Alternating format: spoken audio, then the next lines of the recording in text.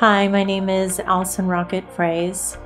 I am the mother and a patient advocate of a child that was afflicted with a severe neuromuscular disorder called myotubular myopathy, also known as MTM. I'm the co founder and the president of the Joshua Frase Foundation, which was named in honor of our son. Our foundation has been forging a path for two decades. Uh, we began funding when there was really no research being done here in the US. We are constantly focused on patient advocacy, supporting families on the day to day journey, research initiatives, biobanking, data collection, and an international patient registry that is trying to determine the size of this cohort. MTM is characterized under an umbrella term called centronuclear myopathy, which is related to several other congenital myopathies. It is characterized by the muscle cell's nuclei remaining within the center of the cell.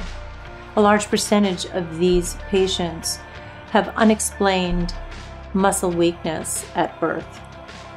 MTM is a rare neuromuscular disorder caused by mutations in the MTM1 gene. It is one of the most severe childhood disorders characterized by lifelong morbidity ventilator support, wheelchair dependence, and or early mortality.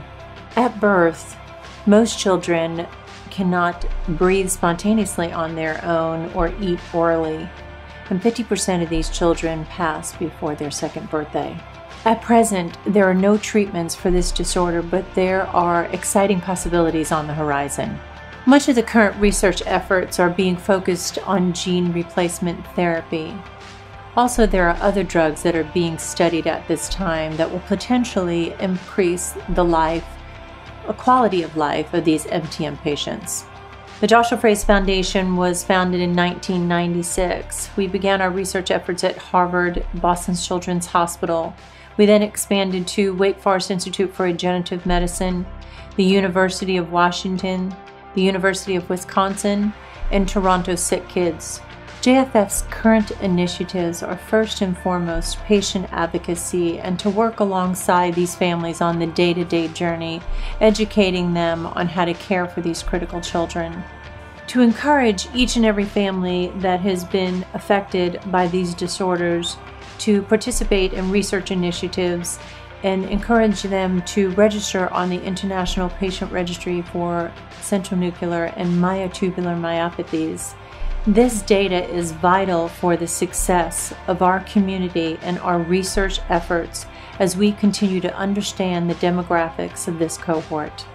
Also, to continue to fund cutting edge research and support pharma and institutions as they move forward into clinical trials. We are continually on the lookout for cutting edge research and technology that will potentially lead to a therapy or a cure for these children.